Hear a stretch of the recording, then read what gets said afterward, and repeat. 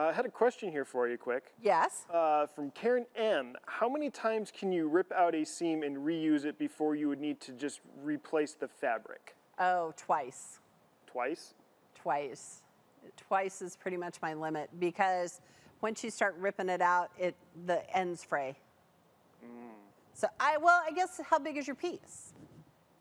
I mean, if it's you know normal like this is about the standard size of pieces I sew together twice.